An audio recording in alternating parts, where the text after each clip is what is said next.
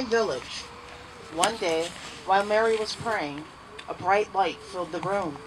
She looked up in wonder to see an angel standing before her. The angel, whose name was Gabriel, spoke, and Mary quietly listened to his words. Do not be frightened. You are to be the mother of God. You will receive a baby from the Holy Spirit.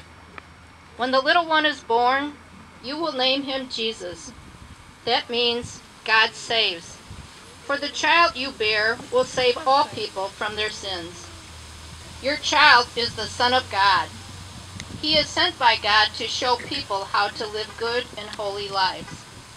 Those who follow his ways and believe in him will become children of God on earth and will be with him in heaven. Mary accepted with great joy the great honor God had given her. Then the angel Gabriel left her with this wonderful secret. Only one other shared Mary's secret Joseph, the man who was to be her husband. One night, while Joseph slept, the angel Gabriel visited him. Joseph, you have been chosen by God the Father for a special work. God the Son is to become man. The Savior of all people is to be born a little baby. Mary will be his mother because she is the purest and holiest one in all the world. You are to be his father, which means that you are to protect and take care of the baby and his holy mother. Joseph awoke to find the angel gone. He went at once to the Blessed Virgin to guard and protect her. Together, Joseph and Mary waited for the birthday of our Lord. It was a custom in those days for the people to be counted for taxation. They went to their hometowns to have their names written in a large book. The ruler, Caesar Augustus, wished to tax his people, so he ordered them to all to be counted. Although it was almost time for the baby Jesus to be born, Joseph and Mary obeyed the law and set out from their little house in Nazareth to Bethlehem.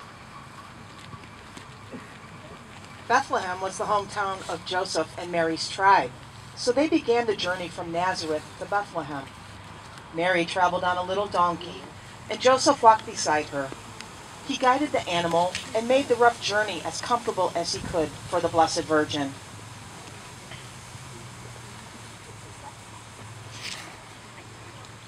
Far away in the east, three kings learned the news.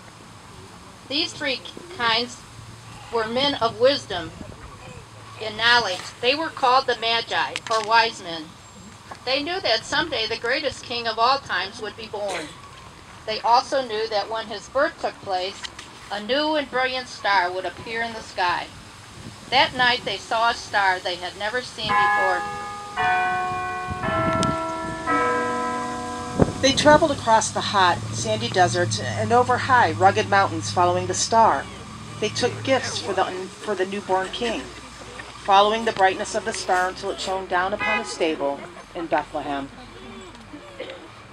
They entered and saw the shepherds and animals gathered about the Holy Family.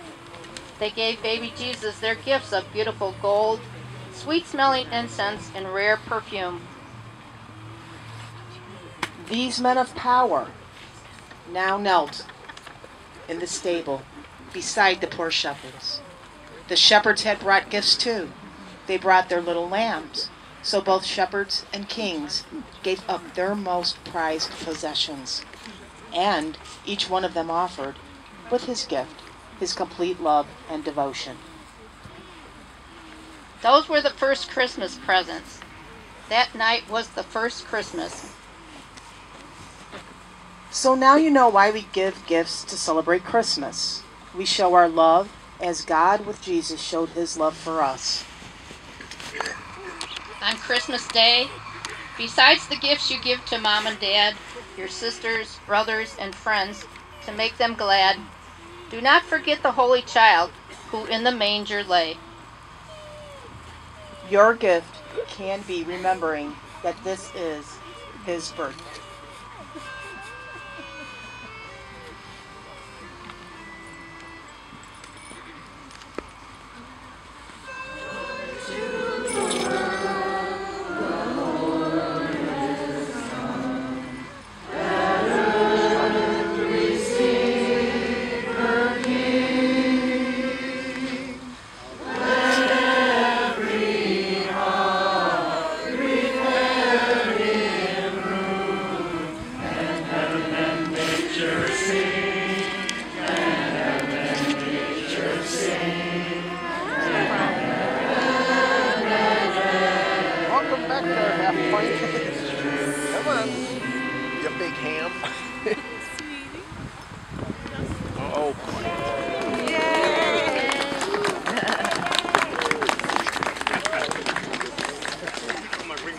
Well, thank you so much for our